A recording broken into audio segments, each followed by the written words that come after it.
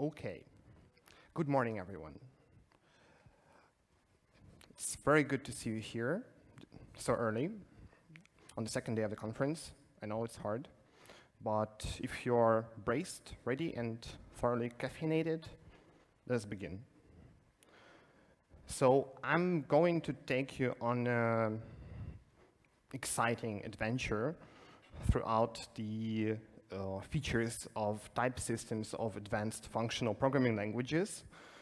And the topic, um, as stated on this slide, is quite a mouthful, you know, describing state with dependently typed FSMs, you know, when you have to abbreviate some of the words, you know it's going to be hard, but it is going to be hard, I'm not going to lie.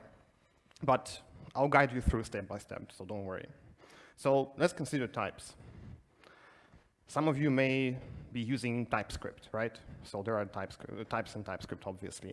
And types are helpful because, you know, they give you a certain peace of mind and comfort uh, when you define that a function accepts a number, and then you apply this function to a string. That's a compilation error, unless, of course, you cheat, right? So that's, that's nice, isn't it? Before your code is even run, someone, the compiler, is taking care of the correctness for you. And if you consider that types are calculated, reconciled at the compilation stage, and then later they are gone, in the result of the TypeScript compilation, you don't see any types if you uh, stop on a breakpoint in the browser, right? T types are gone. Types are just a meta language, right? So types, you can, you can think of types as a special language interpreted by the compiler based on logic. You know, it has its own syntax. It leaves, okay, so it's connected to, uh, to the values that you describe with those types, but uh, it's, it has its own laws, its own syntax, its own uh, constructs, its own idioms, and so on. So you can think of it as a separate programming language. You know, so when you write in TypeScript, you, you know two languages. You're using JavaScript that you already know, and you're using the uh, syntactic uh, idioms from TypeScript as well, so two languages, right?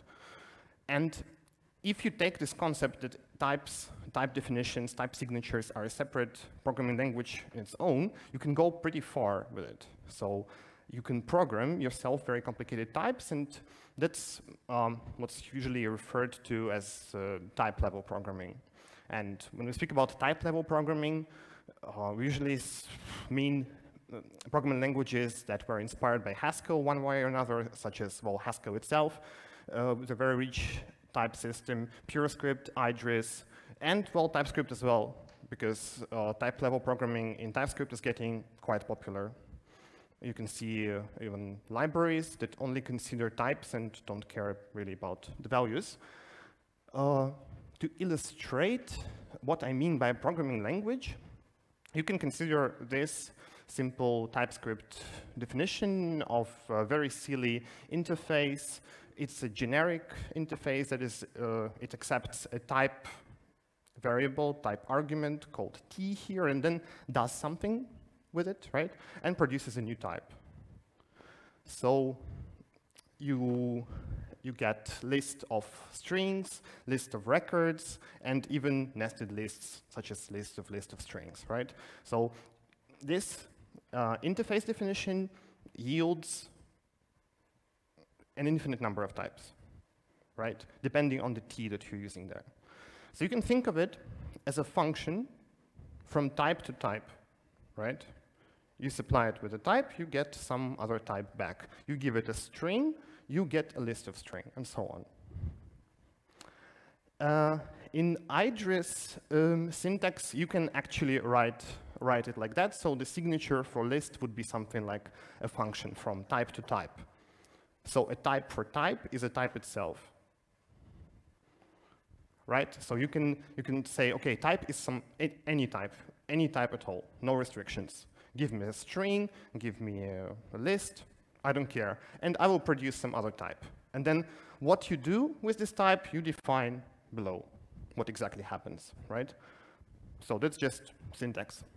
Before we go any further, just so you're more comfortable with the type signatures in this presentation, which is mostly going to be, unfortunately or fortunately, in IDRIS, um, that's the notation that we're going to be dealing with. That's a function. Uh, you see a function called add, and that's its type signature. It accepts two arguments, two integers, and it produces another integer. So, you know, that's the way you write it with two arrows. If it was, uh, if it had three arguments, it would be int, int, int, and another int for the return value. So it's, you know, it's uniform. So let's just consider that. That's just syntax. It's called Hindley-Milner notation, according to Hindley-Milner uh, type system. So, okay, we can have functions, kind of, sort of, you know, uh, functions on types in the language, but what else can we have on the type level that we're used to on the value level? One example of that is, of course, numbers. I mean, we work with numbers every day. On the value level, it's very simple. You just write uh, number characters, you get number literals, there you go. On the type level, however, we don't, it's not uh, immediately clear how to get uh, numbers, so you have to define them somehow. And of course, you won't be relying on machine representation uh, the way you do on the value level. It's uh, not going to convert your characters into some kind of bits, because your type level language, your types, type definitions are a logical language.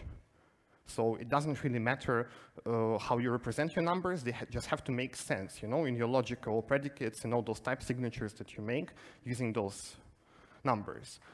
So you define them uh, using a recursive type, you know, you have functions on the type level, so we can have likewise recursive functions, no problem. And that's natural numbers. So natural numbers, how, how, how does this signature read? Uh, it's either zero or a successor of a natural number. So you get 0 is just z, right? Then 1 is a successor of z, 2 is a successor of a successor of z, and so on and so forth. So you just construct by uh, applying the successor function, right? And that's all you need to get very primitive natural numbers, so no negative numbers, but that's already enough to, for example, define uh, dependently typed vectors. Uh, typically, uh, in lists, vectors, arrays, and other containers, you have the type for the element, and that's it. But what if we also had a type for length?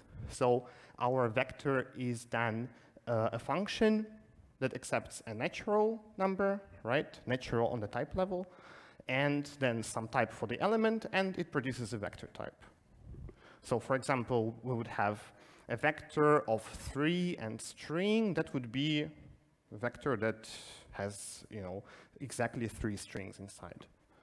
And then the beautiful thing is that you can uh, write uh, functions such as append. You had a vector with a type n and some element type, and then a vector of the same element type but of a different length, and then you produce the result of appending of you know, one vector to another is a vector of a third type. You know, it's all three types are different here. Went from n uh, to m to n plus m, because of course you can define addition of those Peano numbers of our type level naturals. So you can have plus on the type level as well. And that in turn allows you to say that, okay, addition only works for vectors of the same length. You see, n our length type argument has to be exactly the same in both cases. So when you add two vectors, their length has to match. Uh, and if you want to zip two vectors of different types, A and B there, then again, their length has to be the same, types may be different. Okay, you have a vector of numbers, a vector of strings, you will get a vector of pairs of strings and numbers, but of the same length. Another example of type level awesomeness is uh, a printf function taken to the type level. You know printf, you give it some template and then uh, a few arguments according to the template. So if you have percentage %s, it means that it accepts a string argument to substitute, right? And then uh, percentage %d means uh, an integer, I think, is expected, right? So that, of course, is bad uh, because it can be abused, right? So I Googled for uh, a good picture. I think I Googled unsafe printf, and that's the picture I found. It's the best I could find. It's a bit weird, but anyway, you know, it, it can be abused because no one controls if the template matches the arguments that you supply. You can have buffer overruns and so on and so forth, right? So that's the example from an actual library in PureScript with just a little bit of type level magic that connects the type level and the value level. We can have uh, such function, so it achieves the same result. You give it uh, a formatted string and then uh, some substitution arguments, and then it does the trick. But uh, it's um, verified by the compiler. That's the good bit. If you ask the compiler to tell me, well, please tell me the type of the of of all this well construct, it's going to, to produce this type. It's actually a function of string uh, integer, and it gives you a formatted string. So all this, this format thing with proxies, with the string, produces actually a function that expects exactly the uh, now the, the, arguments of, of the types that you see here. So what it does is that it makes the compiler actually parse this string when it compiles your code. The compiler then looks for those uh, percentage patterns, and then it deduces the types from that. So it means, okay, if uh, I see a percentage s, I need a function that expects a string. And if I, in addition to that, see percentage d, if that's uh, if, if, there is such an occurrence, then uh, I have to accept, um, expect an additional int. So you can't, it won't even compile if you don't supply the right arguments, if your pattern and your arguments don't match. Uh, finally, there is this. It's a very nice article uh, about the n queens problem. You know how you can put uh, six queens on a chessboard in a way that they don't threaten each other. And the thing is that, okay, in the article, several types are defined, and the solution is found completely on the type level without any values at all. So you define uh, the chessboard as types, you define uh, how the queen moves in chess, you know, the moving pattern, all in types. And then you don't even compile your code, you just ask for the type of your solution, and it produces the solution. That's the state of the chessboard using those Peano numbers, you know, as coordinates where the queens are supposed to be. So no, no values. It, it, the compiler did all the job, right? Your program didn't even run. But enough talking about uh, type level programming. Let's talk about snooker. So snooker is um, an exciting billiards game originating from India, invented by the British officers there, and it's it's a fun game. Uh, so if you if you don't like the rest of the talk, then at least I'll introduce you to snooker if you're not familiar with this game. Uh, basically, you just pot the balls. Okay, you take shots right with the cue ball, and you have to pot those red balls and the colored balls. Uh, and then you take turns with another player, and whoever pots more balls is the winner. And then there is a special order. Uh, so first, while there's still reds on the table, you have to pot uh, a red, then any of the colors. You see there is yellow, uh, brown, green, black, pink, and uh, blue. And then another red. And then the color is respotted until there are no more reds left, right? That's the first phase. And then in the second phase, you just spot all the remaining colors in a particular order, and you are awarded uh, a number of points for each color, and always one point for red. So you can take red, yellow, red, blue, red, pink, and so on, while there are still reds, and then always in, this, in the same order, yellow, green, brown, blue, pink, and black. Right? So let's use types to encode snooker, because why not? Uh, that's a simple type for all the color balls, right? It's a sum type or an enumeration, all the colored balls. And that's something like a table function that, you know, uh, given a, a, colored ball produces the number of points you get if you bought this ball successfully. So if we want to describe shots, and it's going to be a bit verbose now, uh, you have some shot construct, that, that is well, some shot being taken, and we would like to produce valid breaks of those shots, valid sequences that are according to the rules I've just described. So you know, you, you always port the balls in the correct order.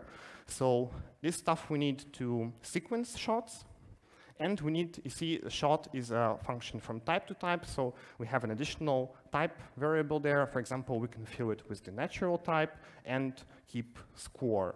So every shot will be assigned a score uh, how much points we earned by putting this uh, or that ball. Okay, so then the uh, value for uh, potting a red would look like this. It's a shot of natural, and it's just one point for potting it, right? And then a color is something like that. I'm not sure you can see it properly, but it's just that function that we defined, right, to convert uh, the color given into the uh, number of points. So then we can write something like that.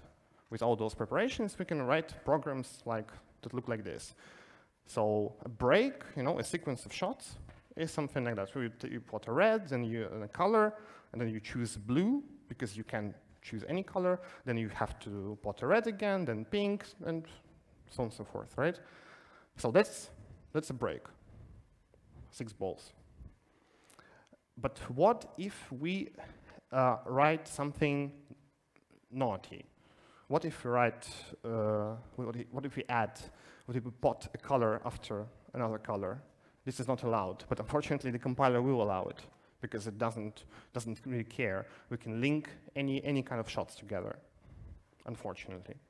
So let's fix that with state machines. So what are state machines? Very roughly, very, uh, well, uh, a very brief definition of those would be uh, that's the state machine of, of you, of the attendees of the uh, Rolling Scopes conference. You have red stage state, right? You have green stage state. And when you're in the state, it means you're in the audience somewhere in the respective stage. And then you get tired, the bored of the talk, and then you uh, proceed to the coffee area, or you have some coffee, and then your curiosity is replenished, and then you can go, go back and listen to some more talks, and then later we'll also have the blue stage state, and so on and so forth. So it's uh, you have states and you have transitions, and there are preconditions to those transitions. It means that something has to be, there is, there is some uh, um, predicate that has to be fulfilled for the transition to occur, right?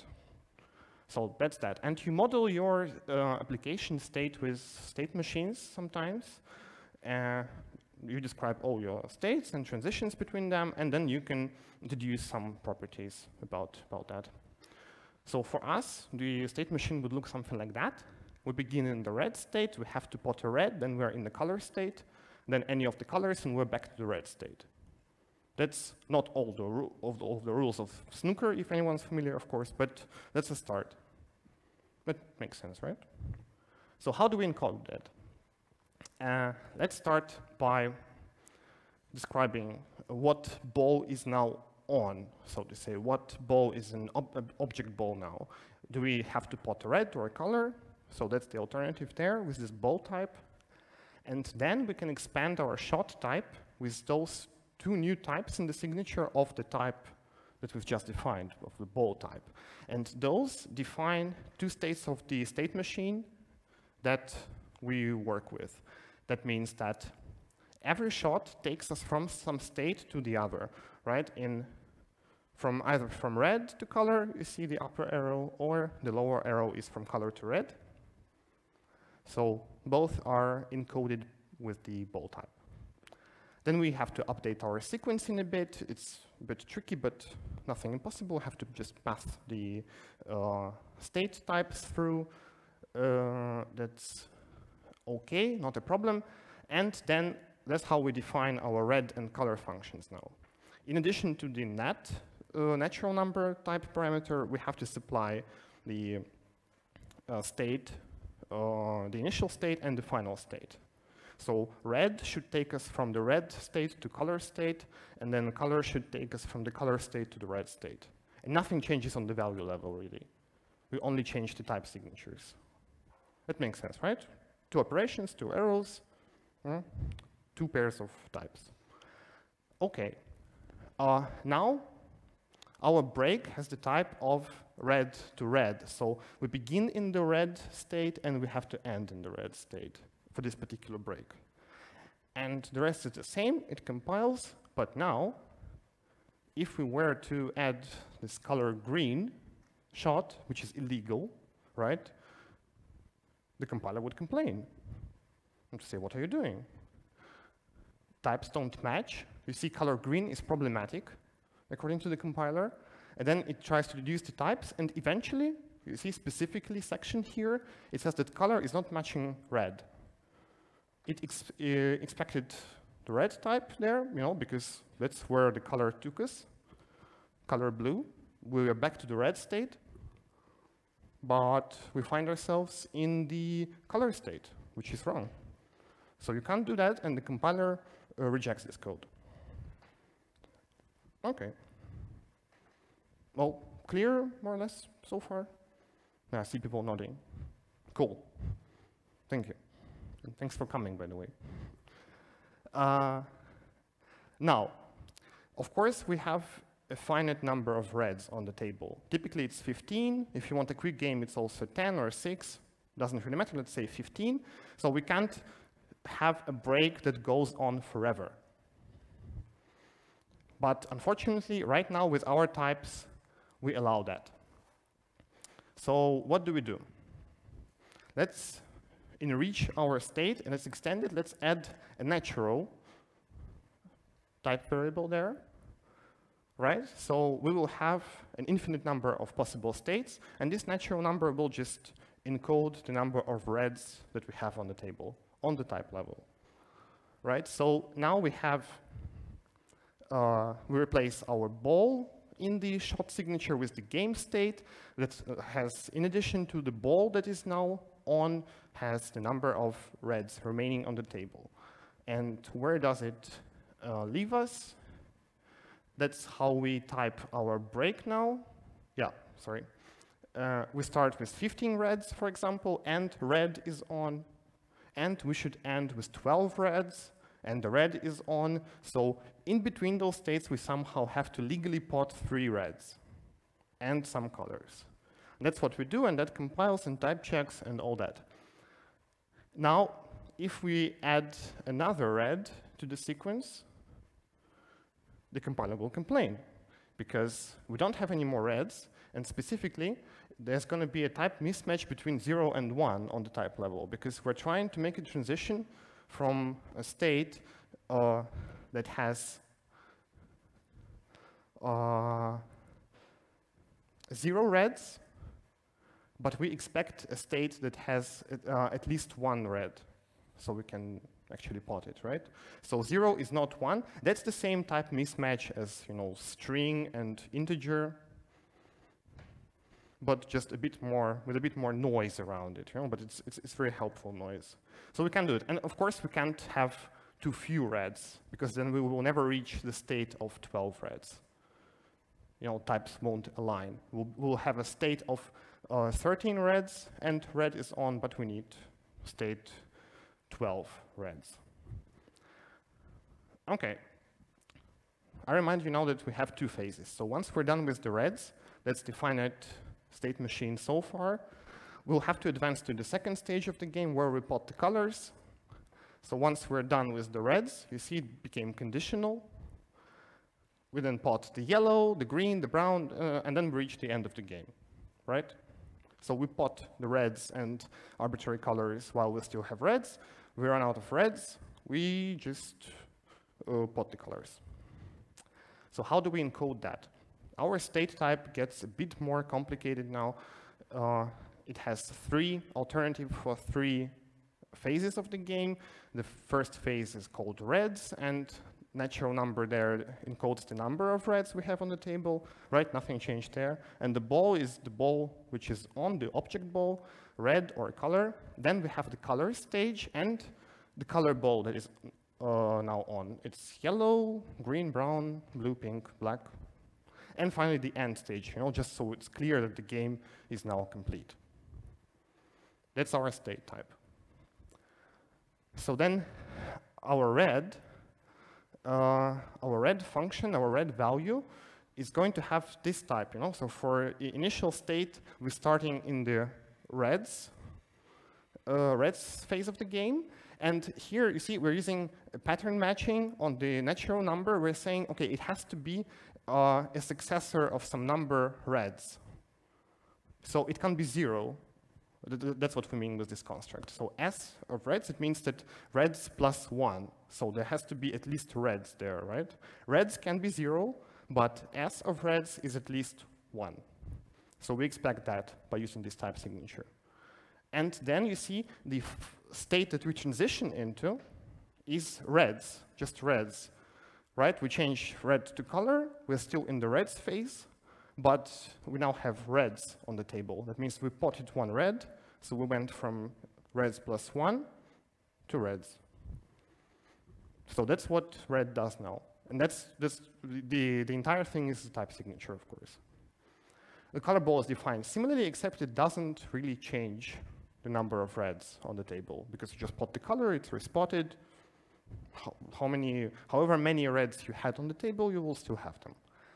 And we have this transition function that's called last red color, which is an awkward name, and that's specifically for the color that we pot when we run out of reds.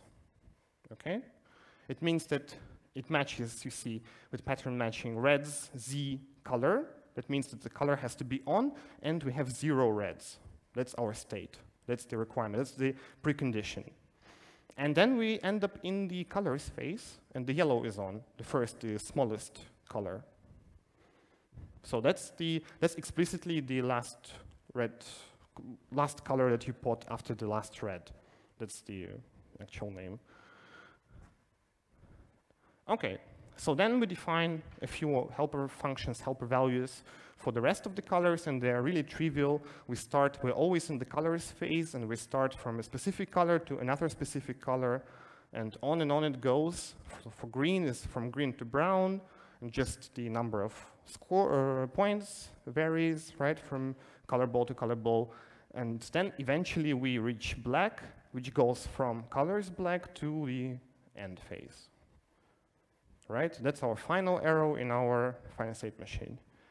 And let's see uh, if we can go from three reds, you see there are three reds and the red is on, to the end. And yes, we can. We just do that, red color, red color, red, then last color, so we transition into the second phase. And then yellow, green, brown, yellow, green, brown, blue, pink, black. We use all the values, and that's a valid program. Of course, if we change, if we do something uh, bad, then uh, it's going to complain. For example, if we do uh, pink before the blue, right? It's not allowed. You have to pot blue first and then the pink. So it's going to complain, it's going to say that pink is not blue. So one, one, just one more thing with those uh, state machines is how you handle fouls. A foul is when you pot a ball or not, but you uh, break the rules somehow. For example, you pot the cue ball together with the object ball, or you uh, fail to hit any ball at all, or, well, something bad happens, let's say.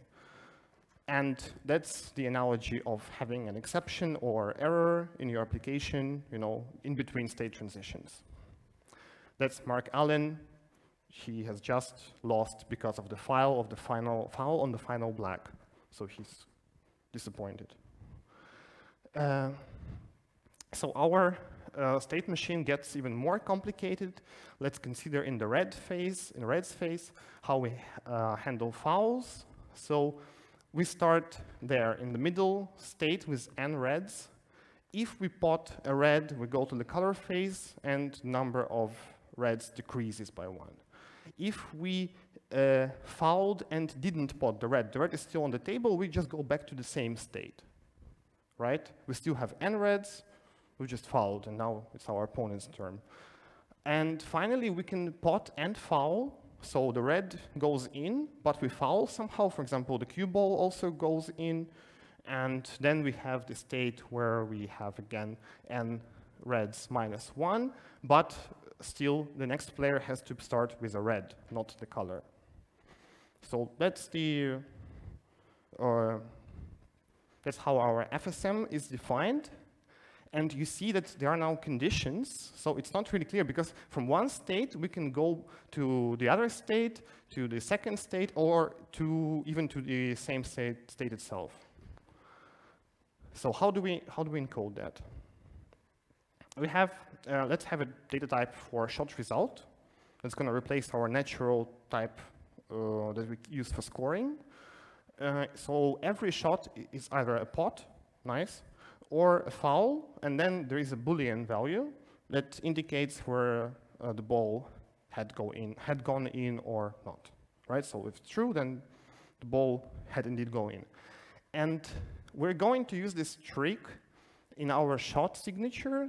Uh, it used to go from ball state to, well, ball state, uh, right? Phase of the game and so on. But now uh, we're gonna replace our final state with a function that depends on the uh, type that we have as our first argument, which is going to be shot result. So that means that our next state will depend on the shot result. Depending on the shot result, we'll transition to one of those three possible uh, states, right? So how does that work out? Syntax is really not important here, but you understand that it's now a function, right? So it used to be a specific value, now it's a function.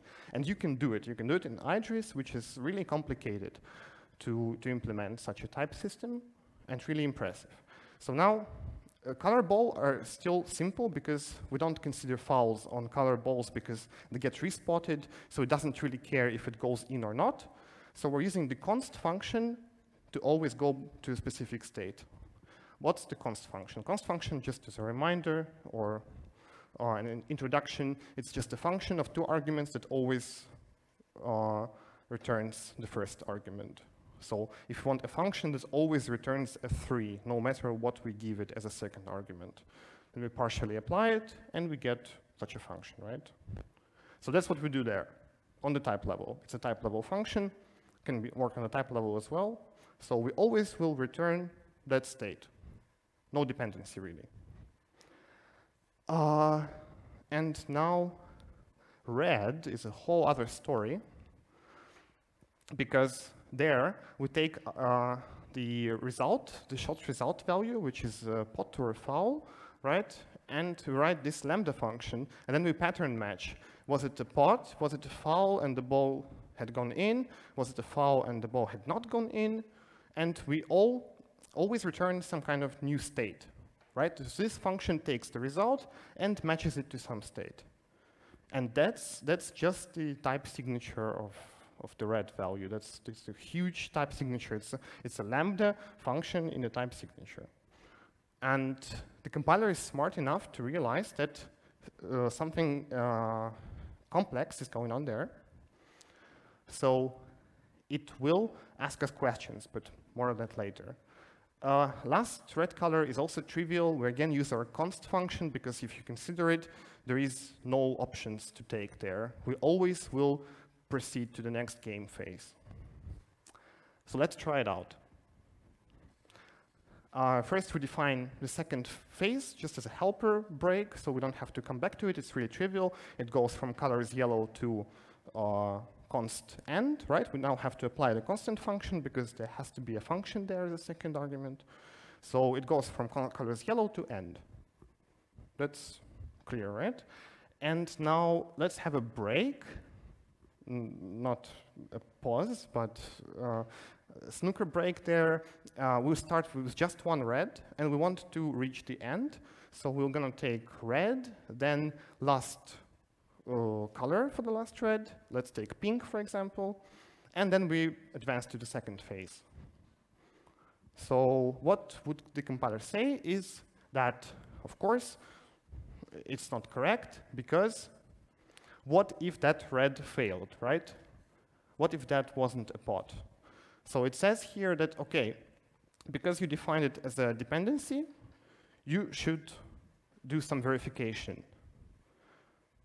You can't just say that pot uh, taking a shot at red advances our finite state machine into the uh, phase where, into the state where the color is on, right? It's not enough. So we have to do some, some work. You see, that's the part that doesn't match. It says, okay, it produces reds, zero, and color is now on. Nice, but that's only if it's spotted. And it says, okay, the type is a bit more complicated than that. It's a function, right, of on types. So you always, uh, you have to mirror this type level function on the value level. You have to write something like that code on the value level, and that's exactly what we're doing here. So we take the result from uh, taking a shot at red, and depending on if it's spot or foul, and which kind of foul, we go to different stages. We, we, uh, we have to resume our break with different balls, right? That, assuming that that's the uh, second player or taking this turn after the first player fouled. So we always start with a different, different ball depending on uh, if uh, a foul uh, had happened or and how exactly it happened. And now it compiles. And finally, you, you, could realize that it's even more complicated, and this, this function has to be even more complex, uh, because it also depends whether all reds are, uh, have been potted or not. But no problem, we can also do that. So we can depend on the result of the shot in the next state of the state machine, and we can depend on the number of reds in the uh, previous state. We can mix and match them in our function, and you know some nested pattern matching, and it's there. And of course, we'll have to handle it accordingly on the value level when we write our program. So to conclude, that was the analogy. Of course, you know, I don't expect that you will all go and write a snooker app or something like that, but uh, the rules of snooker is your domain logic rules, your business logic, um, which usually has some restrictions, some specifics. It's a bit like game rules. And then uh, what transitions from state to state is your application, right? And usually it's very clear. It's uh, log in, log out, check out, all those states, if you just uh, enumerate them and define all the transitions between them, that's, uh, then you can model your state with a finite state machine. So a break, a snooker break, is a sequence of valid actions that change the state, you know? So how many times uh, you would have to write state modifications and then write unit tests. So you get always get a valid state for those edge cases. Instead, you can use dependent types to verify that it is always so. And finally, a foul is an error or exception that occurred in a transition between states. Because of course, no one is completely uh, no application is completely free of errors and exceptions. So where to go from here if you like that stuff? There is an entire world, you know, that's going on somewhere. You know, there's a lot of research being done. The author of Idris, Edwin Brady, is about to release the second version of his language. There is uh, this conference called ICFP, which is just the biggest conference on functional programming in the world this uh, summer, this year. Luckily, it's, uh, it's in Berlin. It's in a week. You can still buy tickets. And this guy is going to be presenting there.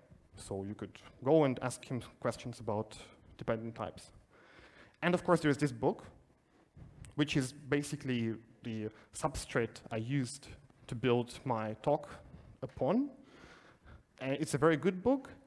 even if you are not familiar with Haskell or any other programming language uh, that is like Haskell, you can read this book. It starts from, you know, very early beginnings, almost from scratch. And the uh, final chapters are finite state machines, actually, uh, with dependent types and dependent types used for concurrency, which is another great topic, by the way. So, yeah, you can also learn Haskell. Dependent types are coming to Haskell, and even without them, Haskell is a wonderful language, and there are lots of interesting type hacks you can use to uh, write on a type level, and even TypeScript, like I said, a lot of type level programming is being done there, surprisingly. Uh, so the type system is quite flexible, even though it's not, of course, as powerful as in other languages. So that would be it. That's all I've got. And now we're going to use this state machine uh, if you have any questions. If you don't have any questions, we'll just proceed to the final state. Thank you very much.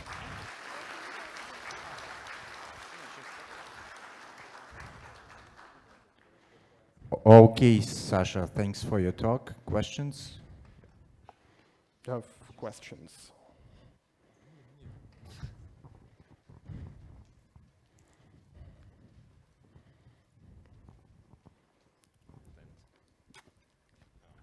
One, two, three. Hi, Alexander. Hi.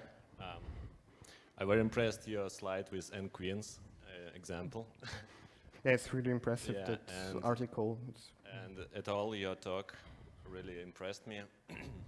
and um, you, you described all really clear, and it makes sense for me.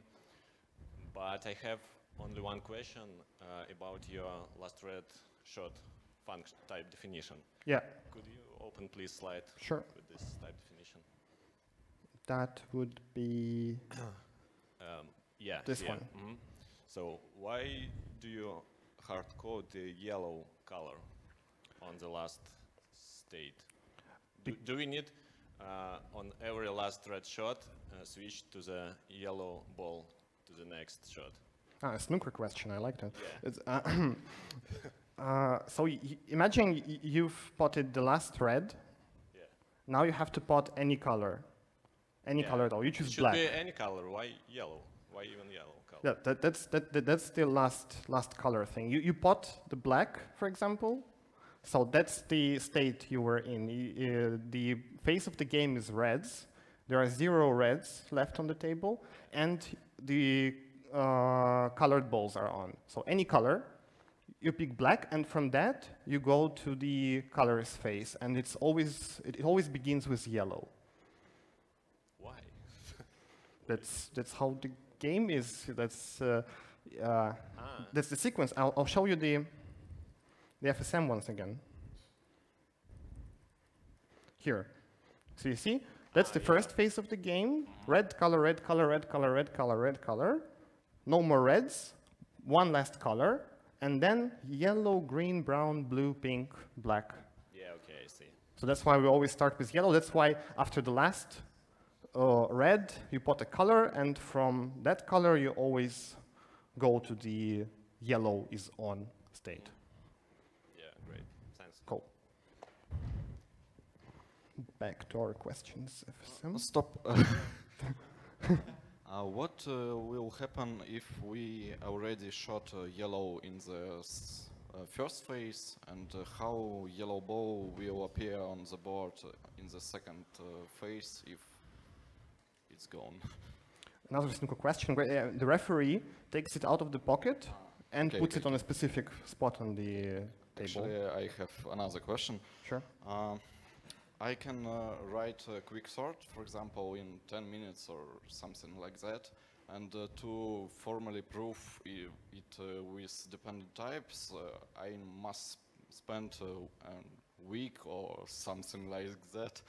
So, do you think uh, dependent types programming will be more easier with some time? So, uh, maybe some technologies will arise or something like that.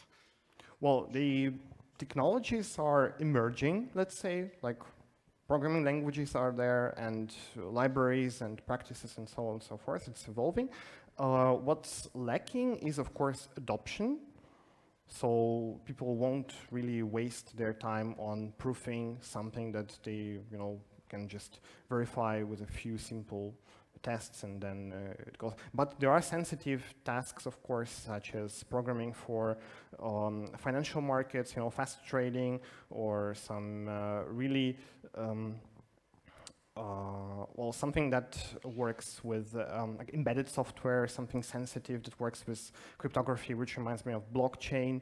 There is a formally verified blockchain, and you don't have to formally verify uh, everything, like with theorems or dependent types. Sometimes writing very descriptive and elaborate types is enough. That, and that's already something, and as soon as it's supported in the languages, like in TypeScript, which is a pretty mainstream language by now, then it's good, you can use it. And there is no reason you shouldn't. It's not that difficult, it's just, uh, I think it's a matter of, well, it's a trade-off like everything else. That's it? Mm, okay. Um, another question. All this code is written on Haskell on Idris syntax? That's Idris. Oh, because it's very similar on Haskell. Yeah, it's inspired by Haskell, and it's just yeah, you, you write. The both languages use Hindley-Milner notation, yeah. Yeah, exactly. Thanks.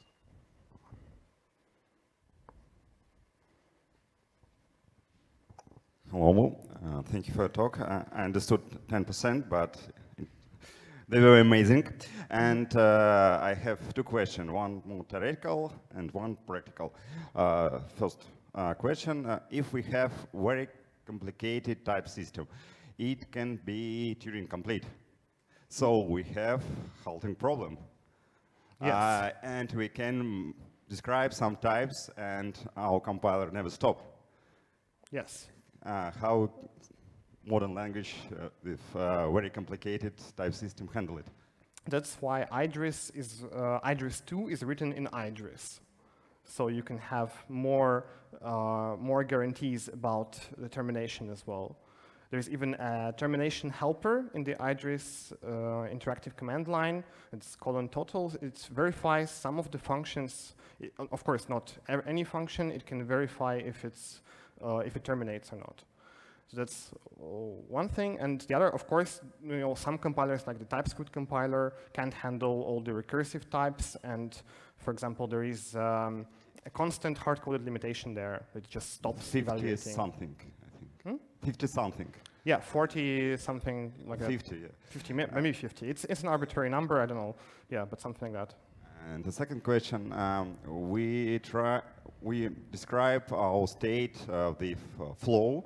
It's another type system, and uh, we had a problem how test it, because you describe some uh, types, and uh, they are very complicated, and who guarantee that type are correct? So the Uh, yeah. Uh, um, maybe you make some errors in your types and you uh, in your talk you modified your types several times because you have some uh, issues Yeah.